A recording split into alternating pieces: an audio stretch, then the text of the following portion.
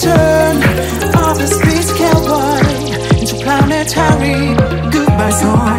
Say you're the space of Chiba, oh you and I go deeper. Maybe I have to get high to get by. This is the return of the space cowboy into planetary.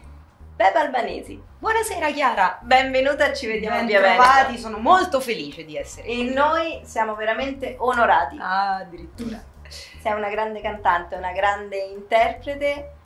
Interpreti la romanità a Roma, le tue canzoni ci fanno sognare, a dir poco. Così è la vita, almeno la mia. Mm. Dice Il che mio- dice Chiara Rai. Il mio figlio del 2018. È uno spettacolo scritto e ideato da te. Sì, da me insieme, insieme a Bruno Stanzione e Angelo Di Palma che mi hanno accompagnato, sostenuto e hanno scritto insieme a me questo spettacolo che veramente io dico nel 2018 ho partorito due volte, mia figlia e, e il mio spettacolo. E- ed è uno spettacolo in cui c'è tutto. C'è un po' della mia vita, eh, che è anche Roma, e quindi Eh c'è tanta Roma. Eh, c'è l'incontro con, eh, con Lando Fiorini, poi probabilmente ne parleremo. Eh sì, e come L'inizio- possiamo non L'inizio parlarne? di questa meravigliosa avventura che per me è stata una grande opportunità e, e soprattutto eh, il, il ritrovo di una nuova famiglia perché Bello. la famiglia Fiorini mi ha accolto a braccia aperte e c'è una squadra meravigliosa e io veramente ringrazio l'universo, la vita di avermi fatto questo infinito regalo. E cos'è la vita per Beba? Ah, la vita è un sacco di cose. Mi piace perché stra- alla fine è drammatissimo. Sì, la vita- Smonti tutto e ti fai una risata. La vita, la vita è un sacco di cose, eh, ma principalmente mi viene una, una risposta sola, se si riesce la vita è amore, perché attraverso l'amore Brava. si riesce a vincere tutto, ogni cosa, ogni paura, ogni, ogni momento di, di difficoltà eh, eh, e quindi la vita deve essere amore. Vedi la forza di una sola parola cosa Eh, fa? eh? cioè. Ora sono Marzulliana, Uh! se ti dico Lando Fiorini, il puff e la romanità. Lando Fiorini. Dai, raccontaci Della però, su. Allora, eh, è capitato un po' di anni fa eh, che per caso io eh, mi sono iscritta al Festival della canzone romana con un pezzo scritto da me. Ho vinto in maniera totalmente inaspettata e questa è una cosa Per che te io racconto. per gli altri magari Sì, no, ma perché non ero raccomandata da nessuno, quindi sono- è era- è, stata, è per questo che è stata una grande sorpresa per me. Eh, vinco il Festival della canzone romana, vengo premiata da Lando Fiorini, ma quello fu un incontro proprio molto veloce, eh, anche perché insomma ero Ah, abbastanza piccola, insomma c'era tutto il baraccone del festival. Da lì capisco che la mia eh, vita professionale doveva andare in quella Era direzione. Quindi eh, cantare una Roma nuova, Il che è cantare... importante, eh, perché Sì. uno non sa. Sì, sì, fino a quel Dove- punto avevo tanto studiato, tanto cantato, tanti generi diversi, quindi dovevi, dovevo trovare, esatto, dovevo trovare una, una- una mia condizione. Da lì capisco che la mia condizione era Roma, la città dove sono nata, la città dove sono cresciuta, la città di mio padre e di mia madre e eh, dopo un po' di anni eh, invento, metto su la banda di Bebba. La banda di Bebba che inizia a fare insomma, era- la banda di Bebba era veramente un sogno, anche perché ho detto se la devo fare, la faccio fatta bene. Ma Quindi otto elementi sul palco. Via, in un cioè, momento, una cosetta proprio. in un momento in cui tra l'altro l'economia eh, in generale e per l'arte ancora Esatto. di più Otto eh, elementi. otto elementi sul palco era proprio difficile da vendere. Però tu Succede detto, che o mi la va o la chiamano- spacca. o la va o la spacca. Succede che mi chiamano per partecipare in una serata eh, per fare un concerto alla festa di Noantri a Trastevere il mercoledì Proprio. sera. Il mercoledì sera, perché ovviamente non essendo un nome non potevano darmi una serata principale. Eh, e lì ci fu la prima sostituzione a Lando Fiorini, perché Lando aveva il sabato sera, Pensate. purtroppo già non stava in forma. E quella fu la prima serata in cui il direttore artistico della festa di Noantri mi chiamò e mi disse Bebba solo tu mi puoi coprire la piazza di sabato sera, inventati qualcosa eh, perché dovrai sostituire Lando Fiorini. Te- Cioè, tra il terrore e la felicità. Esatto, esatto. Poi tra il terrore e la felicità ti concentri Esatto, e dici ok e esce. ragazzi dobbiamo fare tutto. E mentre facevamo il soundcheck passavano i- gli ultimi trasteverini rimasti, no? E io ero lì sul banco del mixer insieme al fonico una signora mi fa ma che fate stasera? E io, ma c'era Lando Fiorini? Io sono rimasta così, ho detto, guardi signora, se lei viene stasera abbiamo fatto i tatuaggi alla musica romana. E fu una serata meravigliosa. C'era Piazza Santa Maria in Trastevere piena e addirittura, eh, e questo non me lo cosa. dimenticherò mai, venne una coppia giovanissima del nord, credo di Genova se non ricordo male, a farmi complimenti. Quindi Addirittura ricevere qua- eh, complimenti certo. da eh, una coppia di giovani genovesi sulla musica tradizionale romana per me fu una grandissima Una- soddisfazione. Una scommessa vinta. Quella sera lì c'era ehm, Iara Conigliani che era la responsabile del Eh, certo. PUF, eh, e- e, insomma lo è stata. Puff sì, storico PUF locale. storico e riportò a Francesco Fiorini, figlio di Lando, che aveva successo. visto questa ragazza che cantava la Roma come non l'aveva mai sentita. E poi, voglio dire, sono passati cinque anni e quando Lando è salito in cielo, in maniera...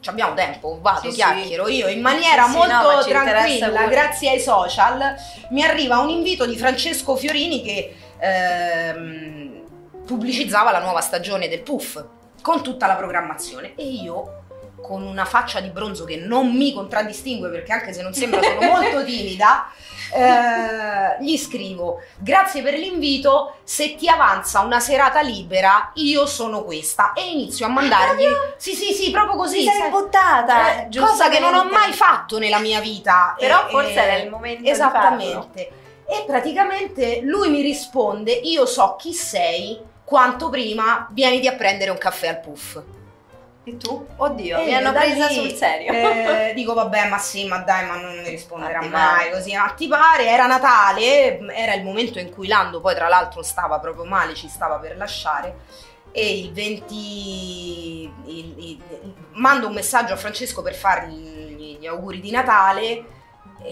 lui mi telefona eh, e, e- e mi dice senti ma domani è tipo a Santo Stefano ma puoi venire a prenderti un caffè al puff? certo Io, sì. e da lì è cominciata questa splendida avventura perché ho- a me non piace mai dire ho preso il posto di Lando Fiorini, anche se No. Francesco lo dice sempre, essendo il figlio per me è, una- è un grande onore, no? Però diciamo sono diventata la voce del puff nello spettacolo anniversario dei 50 anni. L'erede tutto di Lando quello che... dire, dai. Beh, è una Dai. bella... mi vengono sempre i brividi quando mi E dicono oltre che così. cantante, veramente sei una grande interprete. Io quando sei sul palco emozioni Grazie. perché entri dentro.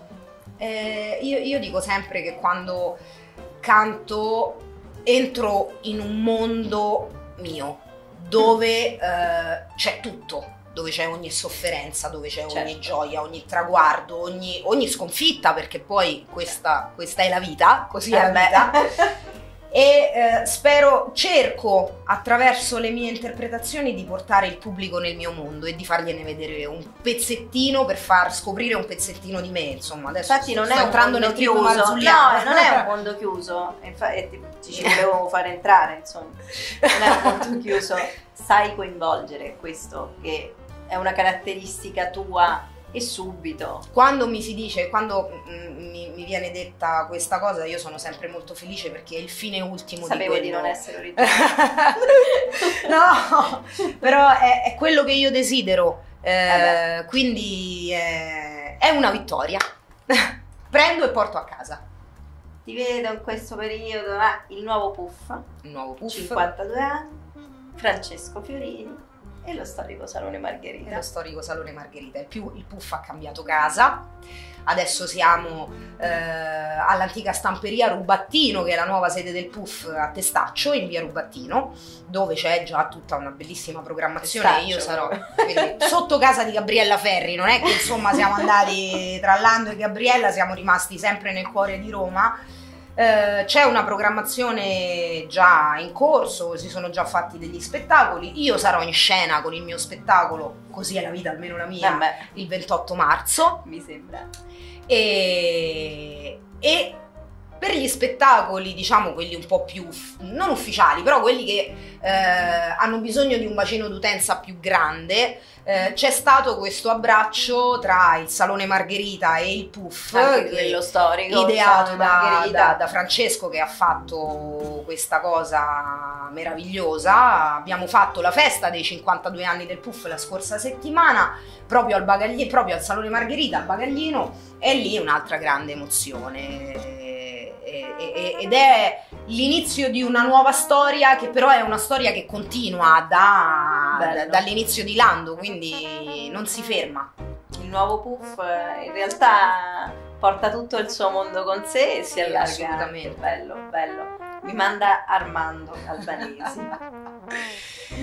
Tuo padre, tuo Mio padre papà. che non c'è più, ma anziché lasciare un vuoto, ha riempito grandi spazi per tutti, tutti lo ricordano con tanto affetto nei cuori di tante persone e lo volevo dire, e tu lo ricordi sempre, anche con il tuo spettacolo. Sì, lo ricordo ne- nel mio spettacolo, lo ricordo con Mi manda Armando, è stata la, la volontà di non... proprio perché attraverso la- l'amore è eterno, l'amore, l'amore non ti fa morire, l'amore resta per sempre, no? E allora... Come questo- l'arte. Come l'arte, come l'arte. Tant'è vero che quando mio papà si è ammalato, e ovviamente mi Eh vengono i brividi, eh, parlando con un mio amico, collega, dissi queste parole. Qualunque cosa succeda, eh, io ritroverò mio papà e il suo abbraccio nella nevicata del 56. Ogni volta che canterò Hai la, fatto la nevicata del pure a me, 56. perché poi ti ho sentito cantarla e Perché mio papà era del 56 Mm. e eh, subito dopo la sua partenza, mm, allora, mio papà è partito. Eh. Dopo un po' è partito Lando e io sono sicura che mio padre Mm. appena arriva- ha visto arrivare Lando in paradiso e ha detto Lando vieni bloccato." qua, ti devo parlare, mia figlia così e così e così e ogni volta che io cantavo la nevicata del 56 quando mio padre era in vita lui si metteva in prima fila e con aria gonfia orgogliosa diceva Eh questa è la canzone mia, È mia figlia." questa è mia figlia, è la canzone mia perché io sono del 56. Eh, la canzone che io, muore mio papà, muore Lando a dicembre, io a febbraio entro al puff. Il brano, uno dei brani che mi hanno assegnato all'interno dello spettacolo dei 50 anni del puff è stato La nevicata del 56. Io non ho mai cantato Tu così tanto come negli ultimi anni La nevicata del 56 e per questo che dico mio papà c'è in altra forma. E mi manda Armando è stato uno spettacolo per, eh, eh, per ricordare, Per l'abbiamo messo su per lui, per ricordare lui, ma in realtà dato che lui nella sua vita ha sempre fatto per tutti, io ho ancora persone che mi incontrano per strada e mi dicono sai che tuo papà mi pagava le bollette, Pensa cioè cose che noi di famiglia non sapevamo, perché lui faceva tutto così. E Per lui era normale. avendo, esatto, avendo aiutato tante persone, in particolare queste due opere che lui ha seguito per tutta la vita, che è una è all'Aquila e- ed è la, la- la Fraterna Tau, che è una mensa per i poveri dell'Aquila, messa in piedi nel 2000 insieme, poi crollata con il terremoto e ricostruita dopo il terremoto, e il villaggio Don Bosco di Tivoli, che è un, all'epoca nel dopoguerra era un, un- un orfanotrofio per gli orfani di guerra, poi è diventato comunque una casa, famiglia per ragazzi che, ven- che- che hanno difficoltà e vengono proprio cresciuti, avviati allo studio, avviati al lavoro ed è una realtà bellissima anche quella. Abbiamo deciso di fare tutti gli anni uno spettacolo nel giorno del compleanno di mio papà per fare festa. Non solo, e devolvere l'incasso in beneficenza. Questo è vabbè. il modo per festeggiare mio papà. Perché lui è andato parole, via commovente. lasciandoci una frase, siate felici e quindi noi ci impegniamo e, E lo fate e lo facciamo, sempre, e lo ogni facciamo, anno. e lo facciamo. Avevi le idee chiare fin da piccola. Io l'ho letto, non posso credere a Beba piccola in miniatura che partecipa allo Zecchino d'Oro, lo Mm. storico Zecchino d'Oro. Poi hai spiccato il volo. Esatto, nel 1988. Eh, Massimo Ranieri vince il Festival di Sanremo con Perdere l'amore. Mio papà, che tra le altre mille eh, velleità era anche diplomato in fisarmonica, quindi l'orecchio musicale a casa c'era, mi sentì cantare il giorno dopo, cantare, strillare a squarciagola a quattro anni per i corridoi di casa Perdere l'amore. Dice, oh, ha vinto. Attenzione. E quindi iniziamo questa cosa, Questo percorso. questo percorso. In realtà poi all'inizio lo zecchino d'oro non so se ti vendevano le enciclopedie, ma io ero Sì, piccola, vabbè. non me lo ricordo, no?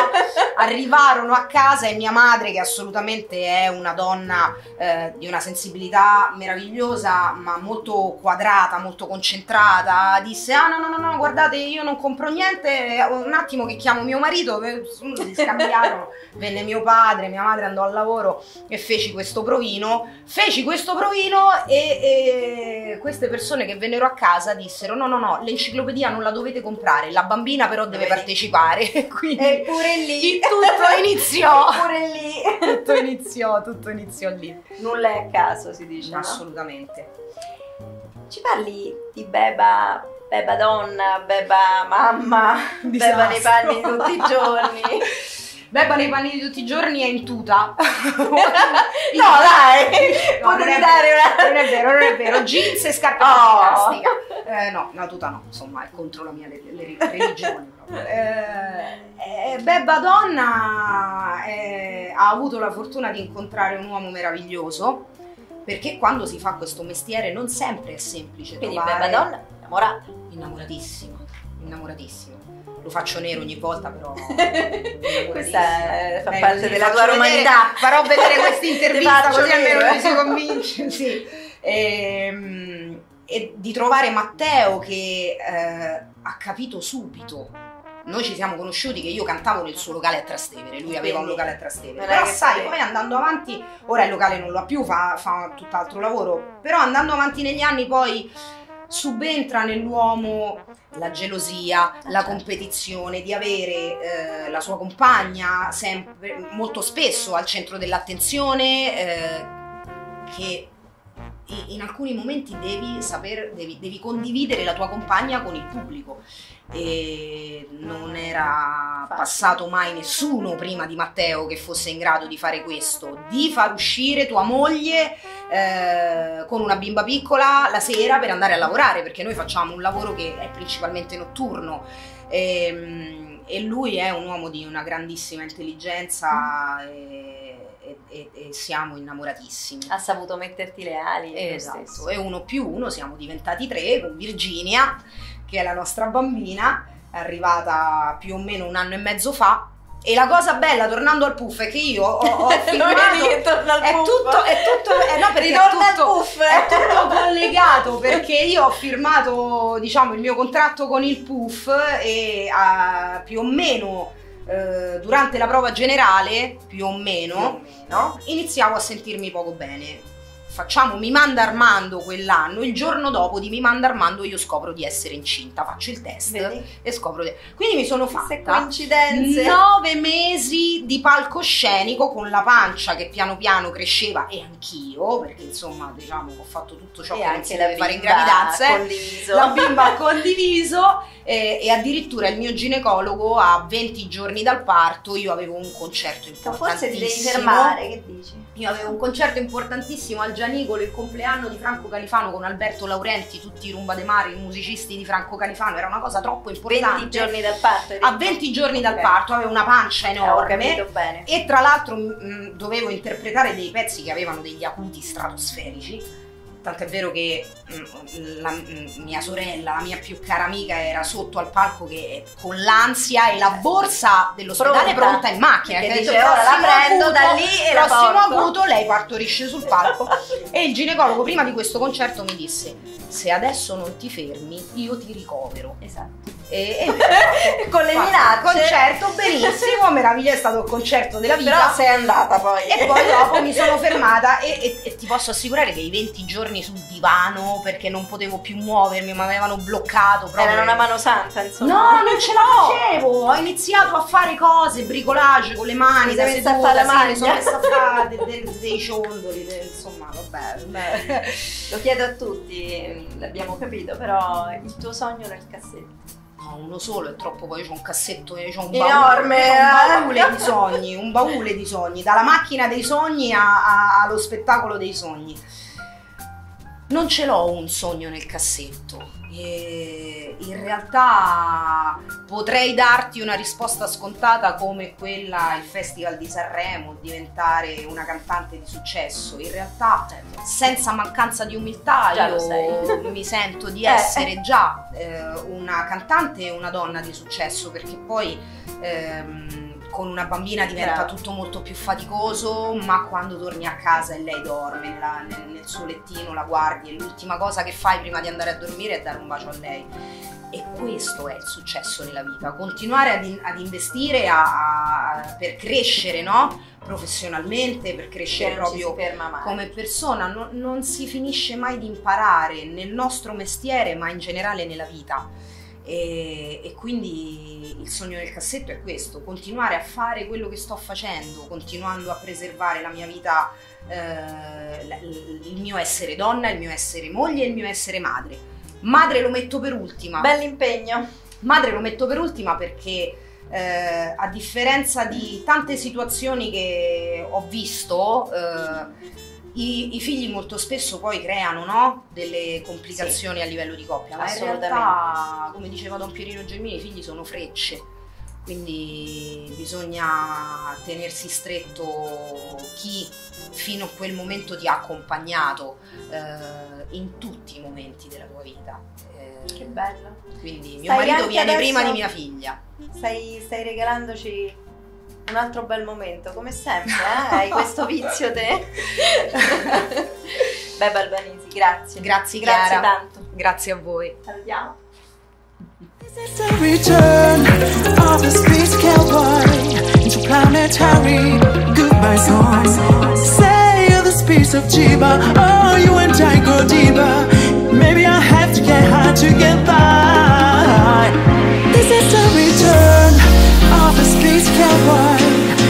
planetary